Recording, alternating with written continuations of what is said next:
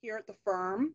And today we're going to spend some time discussing a little bit about, you know, when and whether you should speak to an attorney regarding your federal employment matter. You can go to the next slide, Taylor. So what here's sort of our roadmap and our plan of attack for today. Um, so what we hope that you're going to learn by the end of this is that, you know, what's going to happen when you have a legal consultation, what you as the potential client should prepare um, in whether or not you're discussing discrimination, proposed disciplinary actions, or other matters related to federal employment. Um, one of the reasons why you know you may be seeking to hire an attorney and why it's important not to wait until the last minute and the just overall benefits of having a consultation and potentially hiring an attorney. Next slide please. So let's start off first by talking about what actually happens during a consultation now, consultations are a little bit like snowflakes. They're not all going to be exactly the same. Um, they're going to be unique, but in general, uh, most times you can expect some of the following things to happen during a consultation. You're always going to start usually with discussing why you're calling, what the you know facts are of your particular matter, and then the uh, attorney is going to help you to potentially identify defenses that the other side may have, you know, reviewing, you know, if there are documents in the matter, discussing potential strategy, also discussing kind of the way ahead, the life cycle of the case and what could happen, possible outcomes. And with that, reviewing you know, based on, you know, the current status of the case, what are strengths and weaknesses in whatever your claim may be. And then regardless of whether or not you're going to retain counsel, in most consultations, regardless of whether or not you're going to wind up becoming a client, the consultation attorney can discuss, you know, just general legal advice for you to take forward, even if pursuing the matter on your own or with somebody else. Next slide, please. So I think it's important to talk about a couple of the main areas in which um, frequently we hear consultations on. So federal employment EEO is a very common topic area.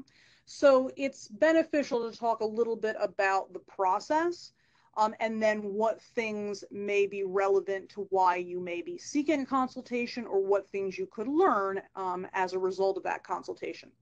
So EEO complaints are um, when you're alleging that something that is occurring in your job or some conduct that's occurring by your employer is based on a protected basis. So you're alleging discrimination, hostile work environment, harassment based on race, national origin, color, age over 40, disability, religion, previous EEO activity, and a few other um, protected bases, but those tend to be the most common.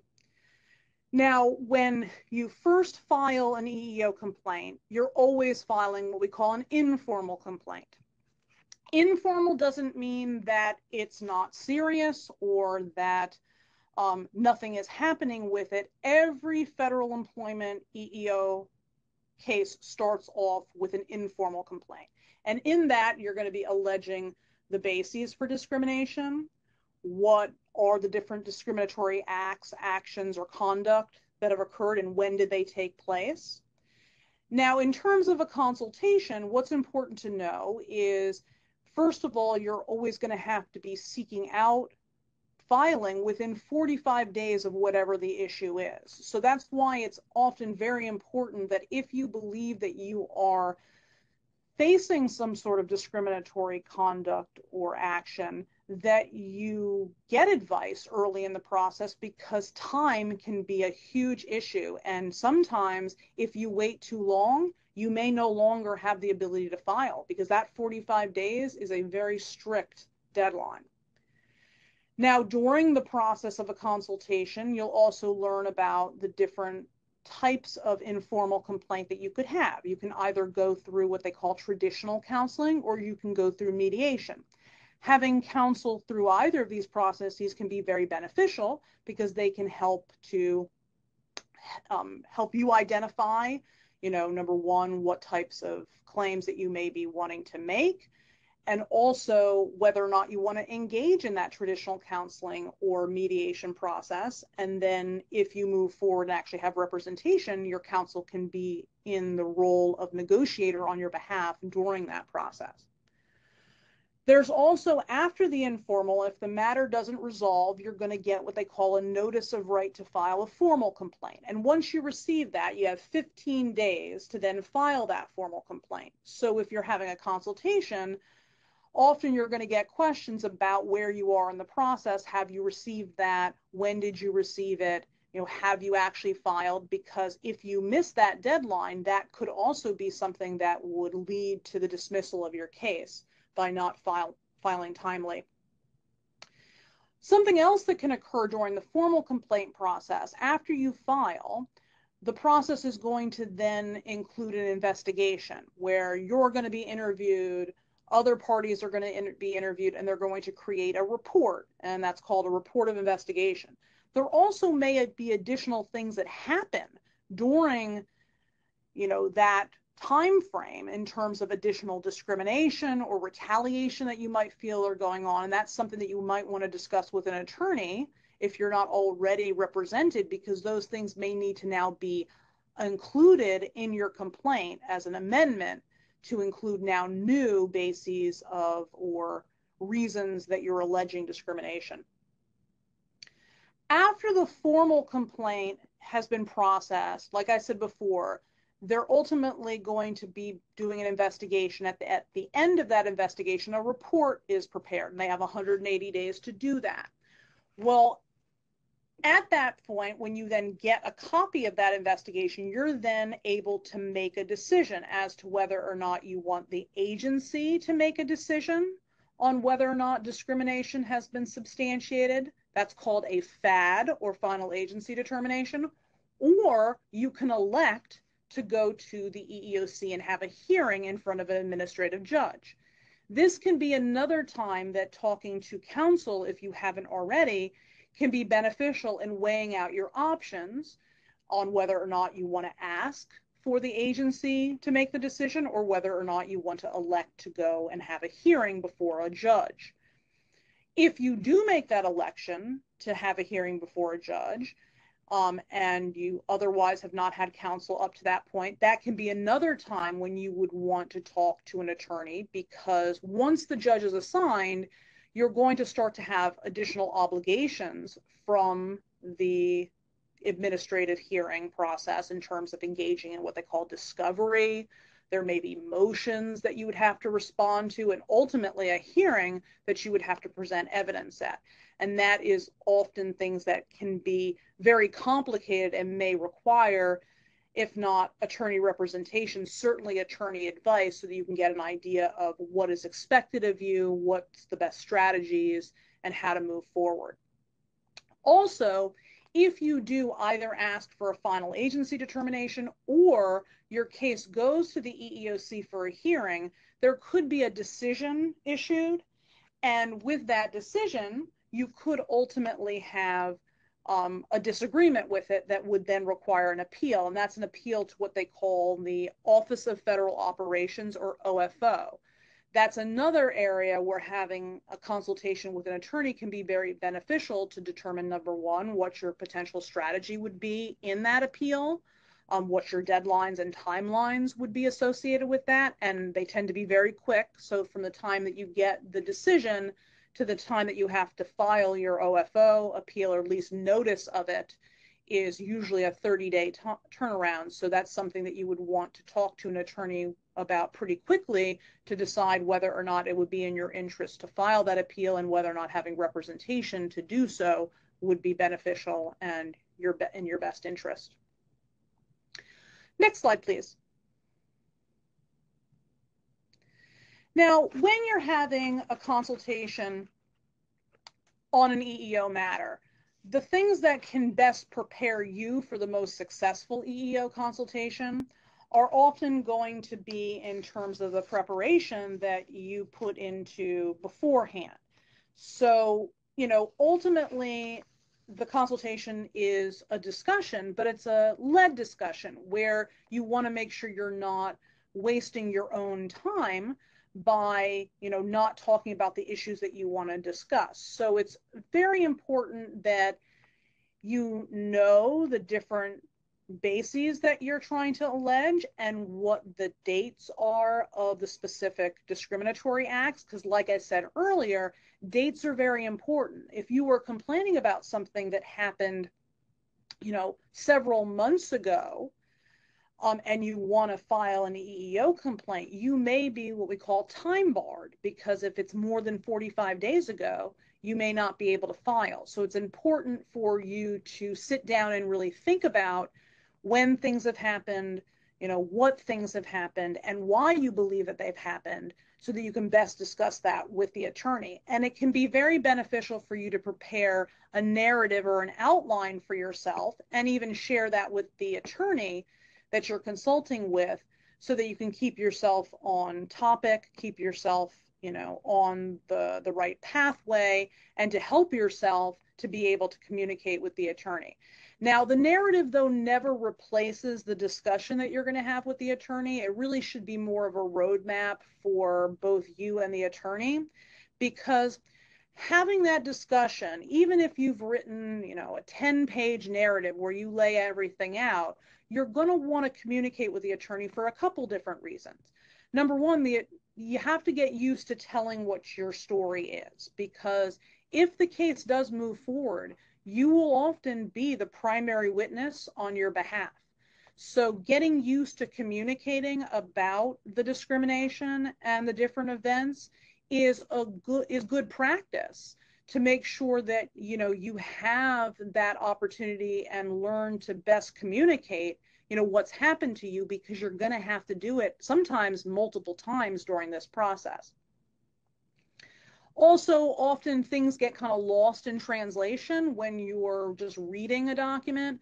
So it's good to have that dialogue with the attorney because the attorney is probably going to have follow-up questions that may not be addressed just in your narrative alone if you have any specific documents, especially if the case has gotten into the administrative hearing stage at the EEOC, you're going to want to make sure that you have all the different orders that the judge has sent, any of the documents, and send those to the attorney ahead of time because that's going to help in the discussion so that you can really be on the same page when you're discussing the different issues.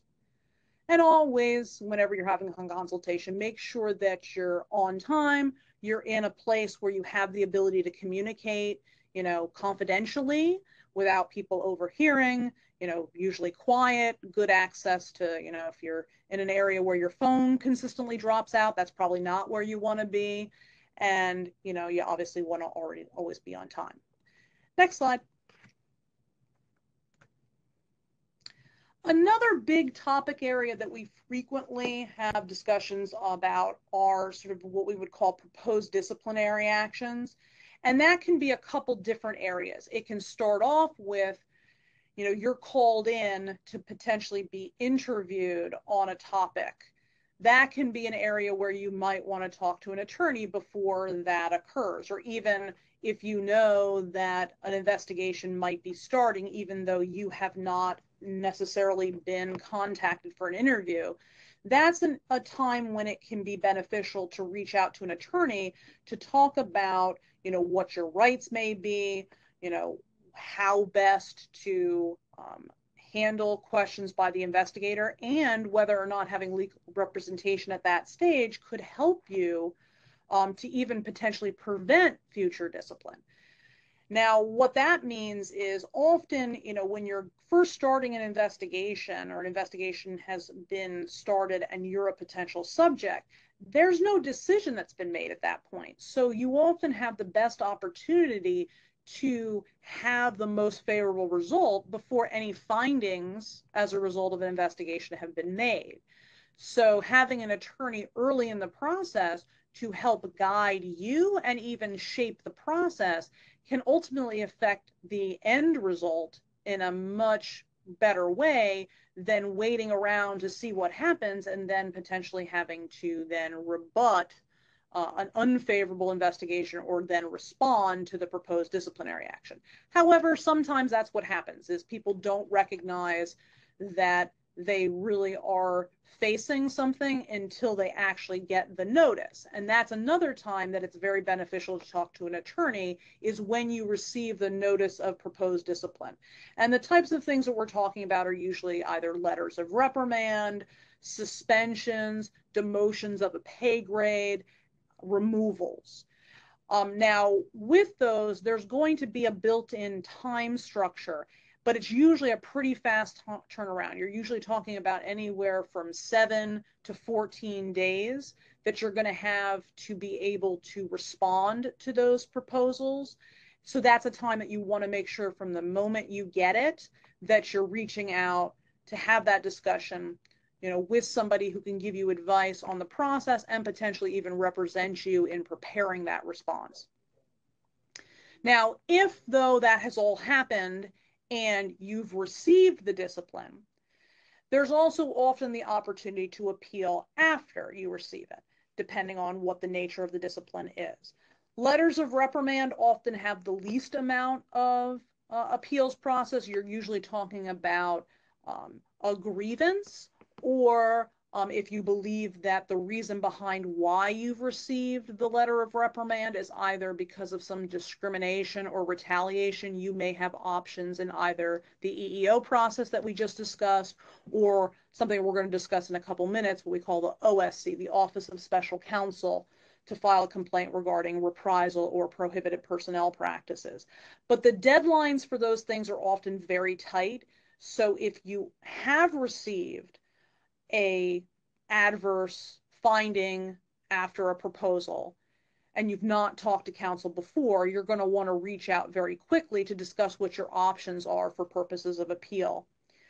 Um, and then, you know, then the process thereafter. Because with some types of disciplinary actions, so suspensions that are over 14 days, demotions of a pay grade, removals, you may have the right to go to what they call the Merit Systems Protection Board and you know having counsel advise you about those options and then what that process is like to include you know the process of addressing the administrative judge going through discovery the hearing and then potentially appeals are all things that counsel you know can be very beneficial in discussing what your options rights and the process are.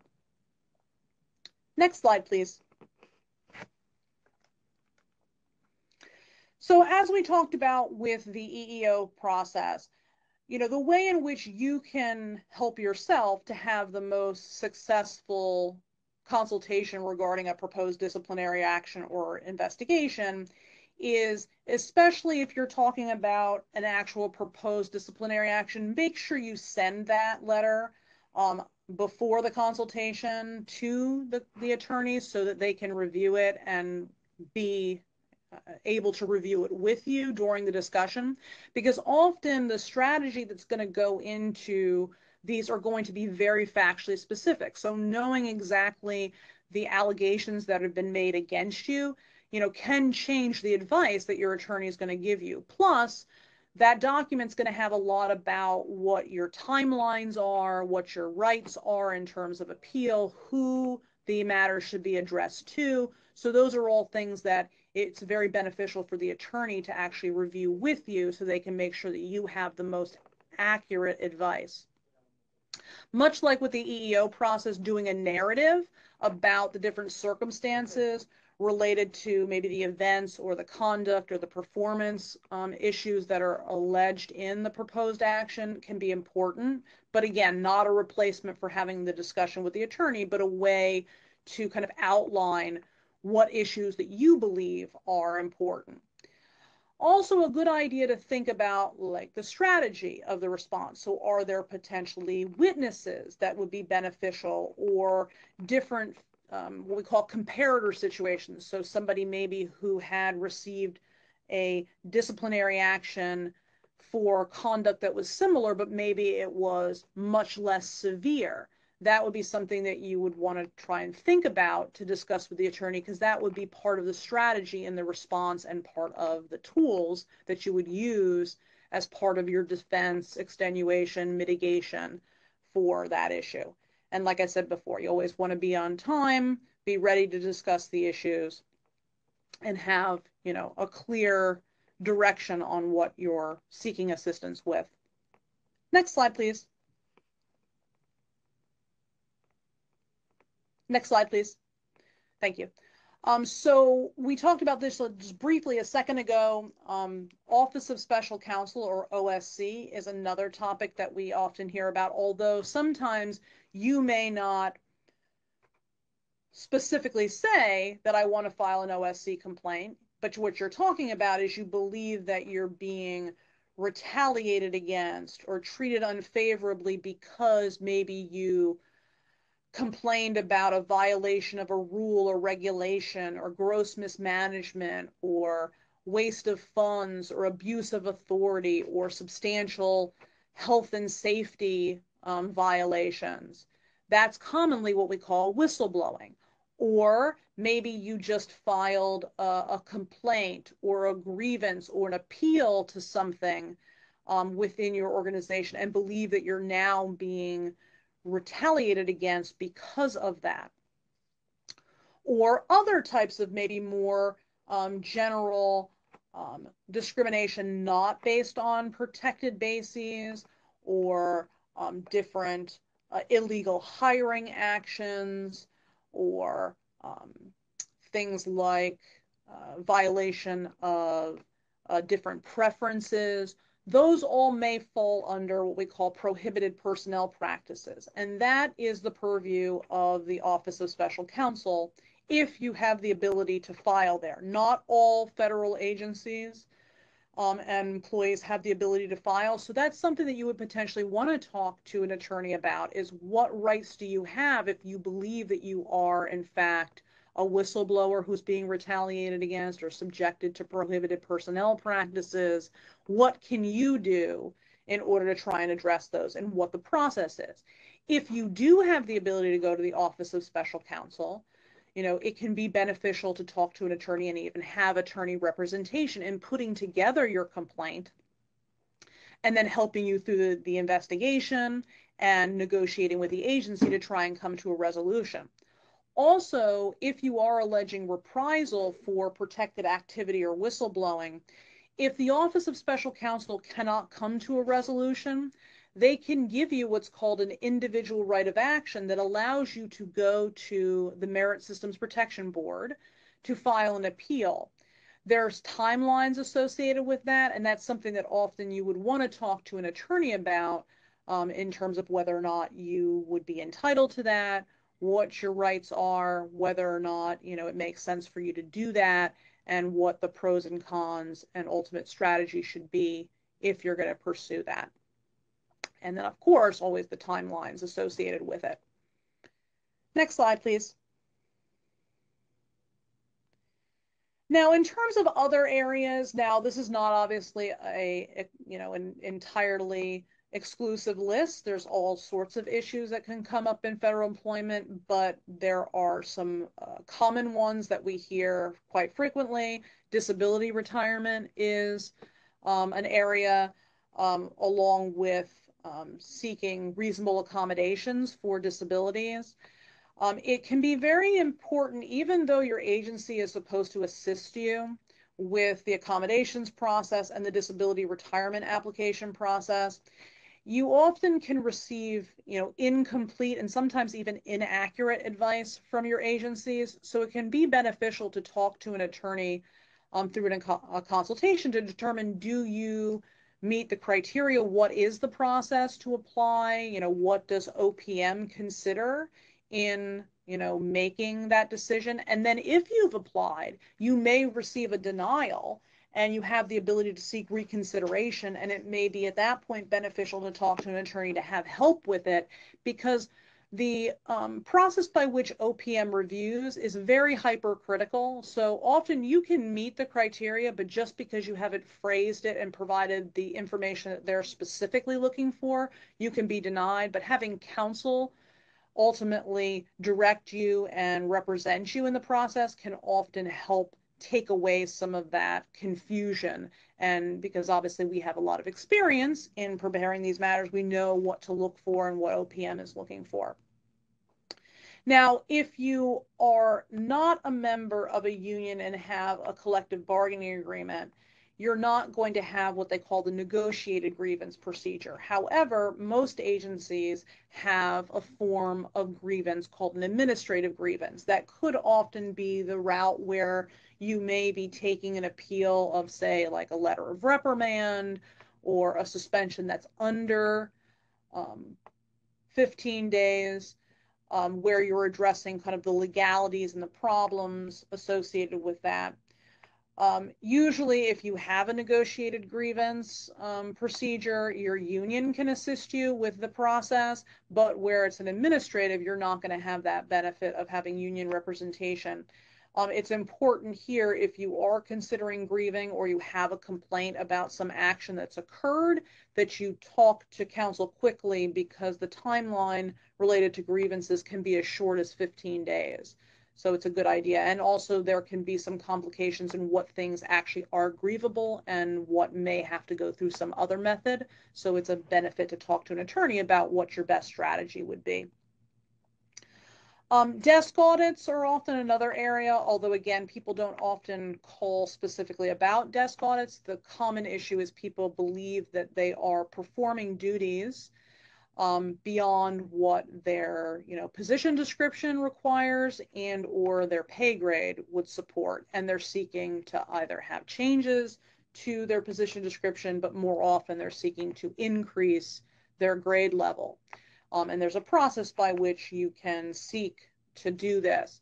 Um, it's usually first best to address that through your agency um, and um, seek to have them reconsider the, the current classification of your position.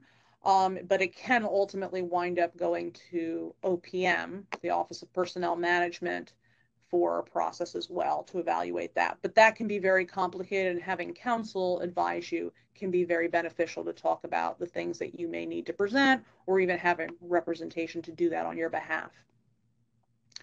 Um, debt issues are also something that people often don't think about as a federal employment issue, but they can be.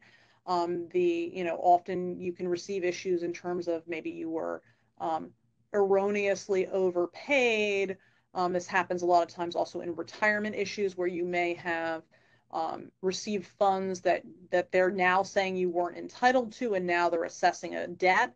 There's a process by which you can seek to challenge that either through an actual dispute or what they call request for review or alternatively if the debt is in fact valid but you believe that you know there are circumstances that warrant it being waived you can seek to to do that doing this relatively soon um, can be very beneficial. In fact, you usually want to assert either a dispute or a waiver within 30 days of when you first receive that notification of debt to get all your potential benefits to include maybe even having them stay collection of it while the adjudication of the debt is pending.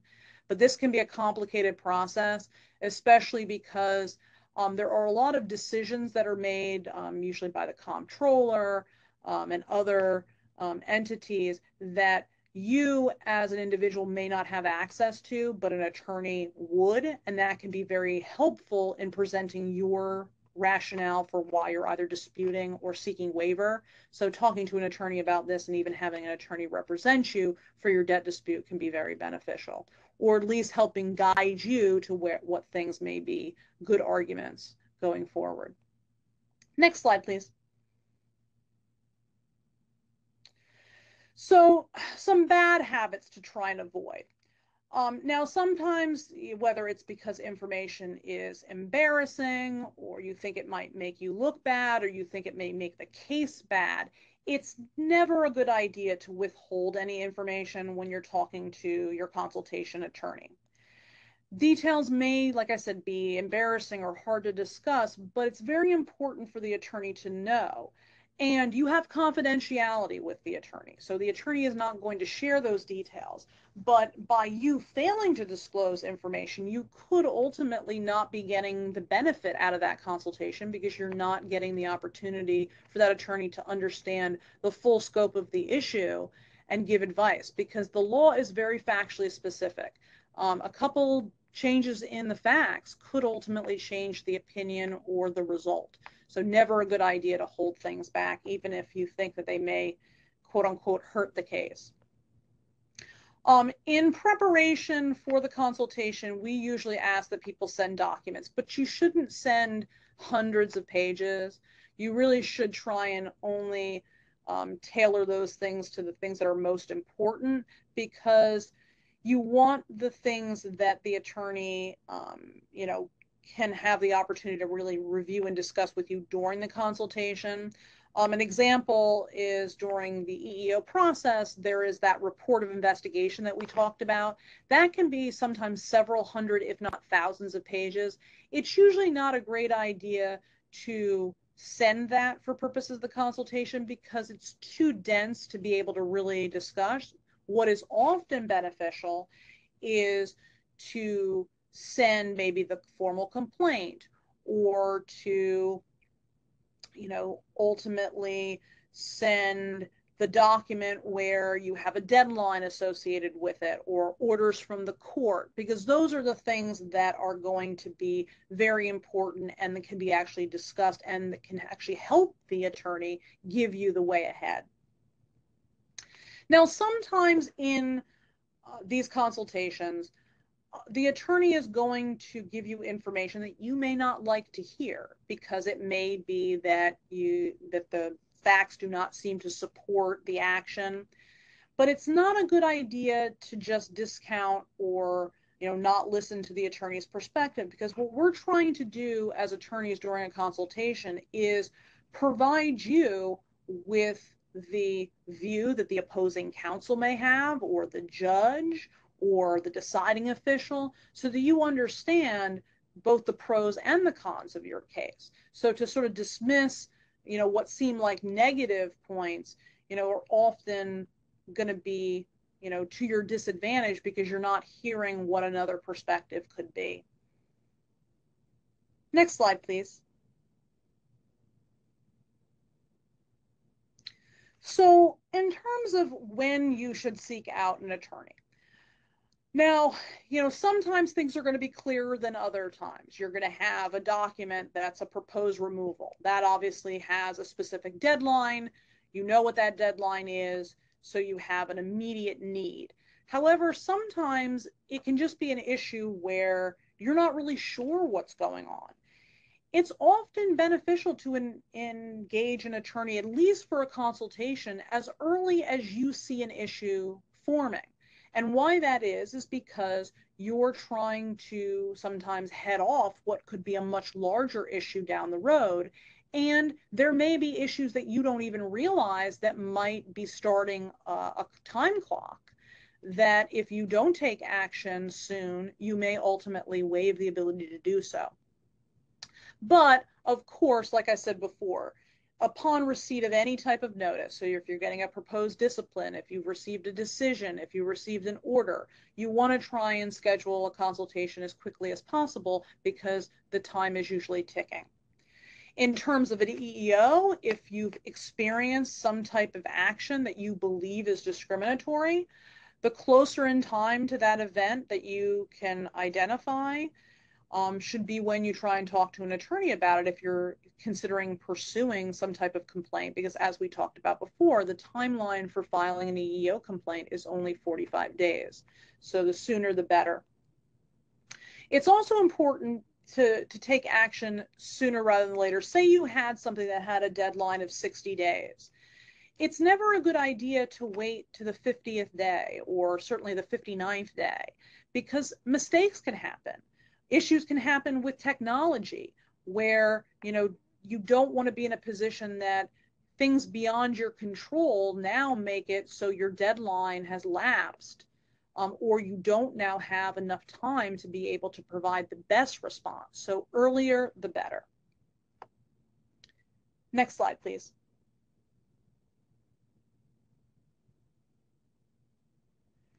Now, when it comes to hiring an attorney, you know, the benefits of having counsel are numerous. I mean, probably, you know, the the primary reason that people seek out representation or even seek consultation is about the subject matter, is just trying to understand. But there's also the issue of, I call it the two P's, um, perspective and perception. Agencies often are not going to negotiate with you in the best faith. They are often looking at not just the facts, but their opponent. So having an attorney can often try and balance out the power dynamics. You know, give you a little step up so the agency sees you as more of a risk. Um, and there can often be the opportunity to try and resolve things earlier in the process where the agency sees more risk associated with it. So having counsel in that process can be very beneficial. The other aspect too is about having some level of your own perspective. It can be very difficult when you're trying to represent yourself in seeing things objectively. There's the old sort of joke that's made about the person who has um, themselves as a, you know, as a lawyer, you know, has a fool for a client, you know, and we all sort of ha- laugh and joke about that. But the real truth of it isn't so much about just, it's a oversimplification. The reason that you're at a disadvantage when you're representing yourself is you you know the facts from your perspective. But the people who are often in the decision making position, they don't know the facts from your perspective. And sometimes, even though it may be true, it may not seem to be the most persuasive aspect of a case. So, having an attorney can be beneficial to help you best argue and make the most persuasive arguments to that official as opposed to just trying to rely on what you know to be the truth that you may not be able to prove in the best way.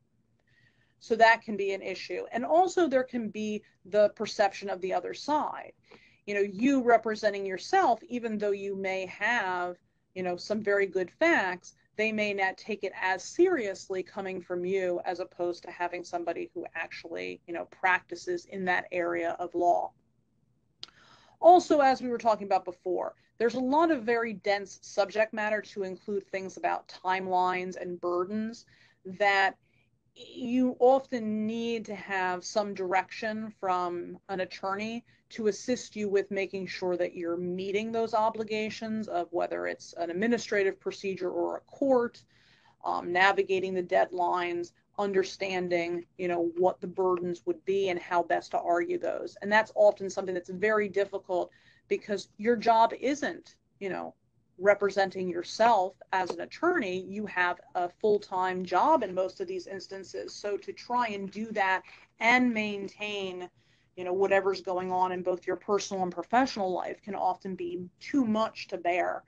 Um, and also even trying to learn all those things can be very complicated and may not really hit the best practices that an attorney who has experience doing federal employment could bring to bear. Next slide, please. So this is our contact information. So if you decided that you had an issue that you did want to seek out consultation, you can obviously reach out um, telephonically, reach out through email. We also have an online um, process. Um, also, you know, obviously, you know, there can be issues that come up at, at any point, so you can always take that opportunity to, you know, reach out through any of these mechanisms. Next slide.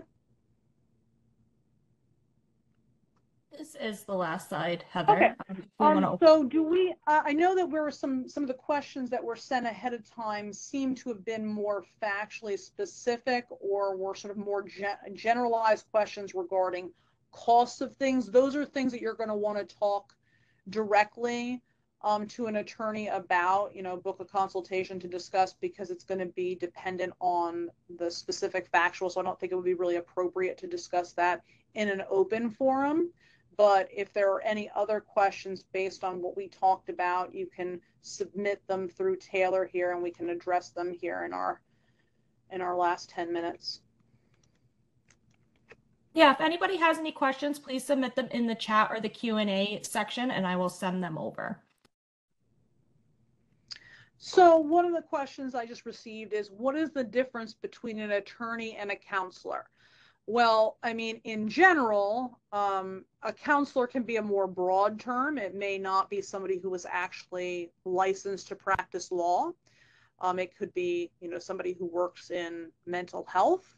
Um, but when you are talking to an attorney, attorneys are often, you know, go by many names. They could go by lawyer, uh, attorney, counselor, but it's usually counselor at law at that point because they have a uh, a law degree and are admitted to practice law in a jurisdiction. But in general, um, counselor tends to be a more broad term that also involves people who are not admitted to practice law.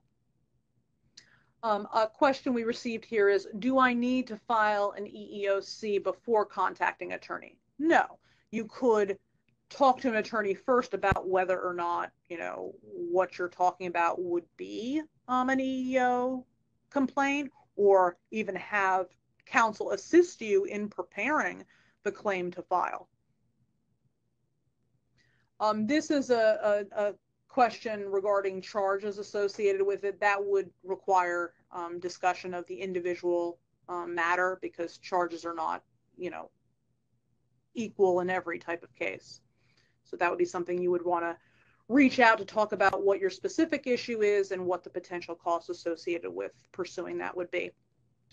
Um, a question about sort of the, the area um, of the country. Um, should I seek a consultation with an attorney in the state of the company or should I seek a consultation with an attorney in my home state? Um, the issue is more about who employs you. Um, if you're talking about, like this is a, a webinar regarding specifically federal employment. Federal employment, if you're having issues with your federal employer, it won't matter where your attorney is assigned for most things. You would want to just talk to a law firm that uh, that specializes like us in federal employment law. However, if you are not employed by the federal government, if you are employed by a private company, you often are going to want to talk to an attorney who has private employment experience in that jurisdiction because there's going to be sp- state specific rules and process that are going to control your issue. But that's also something that you can reach out um, and um, in booking a consultation, explain your issues, and then the the um, process should explain whether or not that's something that that specific firm could assist you with. This is a specific question about um, work restrictions and non-compliance and whether or not that could be an EEOC. It could be. It obviously would depend on the facts. Um, this is a very specific question about comparator data. That would be, again, something that you would need to discuss with an attorney during a consultation and actually probably would not be able to be specifically addressed during a consultation. It's something that, you know, you would often need because there's not a, a specific answer regarding to how much evidence is going to convince a judge or not. It's, you know, judges are human beings you know, it's often just about trying to present the most information that you have and, you know, making the argument in front of the judge. There's not a sort of quantitative number of different exhibits or witnesses that equal, you know, a favorable result versus a non-favorable result. Um, is there a particular type of case that would better would serve better filed in the Office of Special Counsel versus the EEOC? Well, they're addressing different things. Um, Office of Special Counsel is just is addressing um, prohibited personnel practices and reprisal for whistleblowing, um, disclosures of whistleblowing, retaliation for protected activity. EEO is addressing discrimination based on race, national origin, color, sex, sexual orientation, disability, age, religion, previous EEO activities. So sometimes there are going to be overlaps where you may file with both. other times you're gonna it's gonna be dependent on what you're alleging. If you're alleging that hey, I'm being discriminated against because of my gender, then you would file that with the EEO.